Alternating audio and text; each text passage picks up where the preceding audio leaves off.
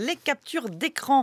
Redouane Tella, ce matin, vous allez nous parler de votre passion pour Ça commence aujourd'hui, l'émission testimoniale de France 2. Ah, moi, je suis complètement fan de cette émission où l'on voit des hommes et des femmes qui n'ont pas l'habitude de passer à la télé, des hommes et des femmes ordinaires, mais qui racontent leur vécu, leur souffrance et aussi parfois leur réussite.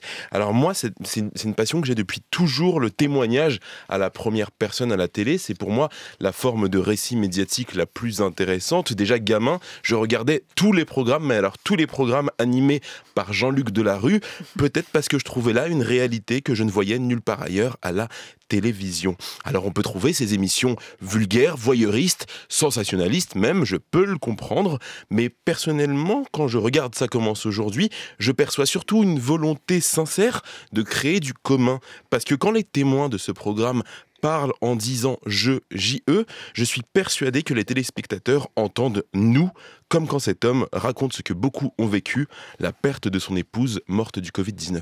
Je l'ai accompagné à l'ambulance euh, dehors. Et une fois qu'elle est montée dans l'ambulance, euh, juste avant le départ, elle m'a fait un petit coucou de la main et, je ne l'ai plus jamais revu vivant. Cette image, elle est, elle est, insupportable pour vous? Ah oui, puis elle est gravée, euh, je pense qu'elle est gravée pour le restant de mes jours. Hein.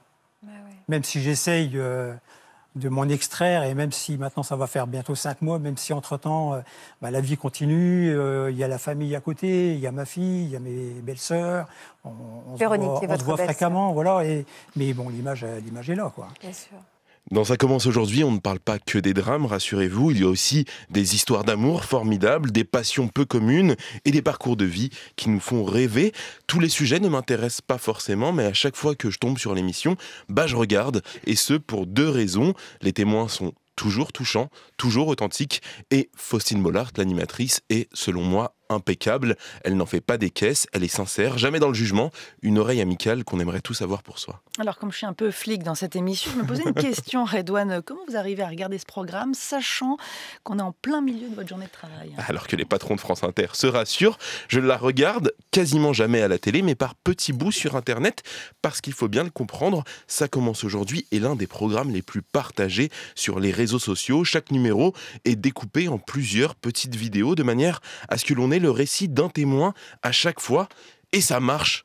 1,6 million d'abonnés sur Facebook, plus d'un million d'abonnés sur YouTube, des dizaines de millions de vues sur TikTok, TikTok, donc du coup ça cartonne chez les jeunes alors que pourtant l'émission est faite plutôt pour un public plus âgé. Alors c'est un carton qui s'explique très simplement. Le témoignage à la première personne, c'est l'essence même de l'Internet 2.0. Les réseaux sociaux ont été créés pour ça, pour rendre la parole beaucoup plus horizontale. C'est précisément ce que fait cette émission. Alors forcément, c'est viral. Et franchement, bah, ça fait du bien de pouvoir se rattacher à ce genre de programme en ce moment, à une époque où la bienveillance et l'écoute sont malmenées tous les jours à la télé et sur les réseaux. Moi, à chaque fois que je tombe sur ça commence aujourd'hui, j'ai l'impression d'être dans une bulle d'apaisement en dehors de l'air du temps, un espace qui me semble presque irréel. Et puis je me rappelle que la réalité, bah, elle est là, précisément, du côté des gens qui parlent et qui s'écoutent pas du côté des polémistes de télévision et des trolls des réseaux sociaux. Juste pour ça, vive ça commence aujourd'hui et vive Faustine Bollard. D'accord, merci Redouane Tella.